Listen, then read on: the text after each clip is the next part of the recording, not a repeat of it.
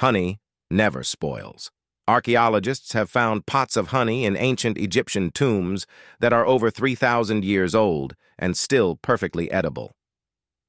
Random Facts The shortest war in history was between Britain and Zanzibar on August 27, 1896, lasting only 38 minutes. A group of flamingos is called a flamboyance.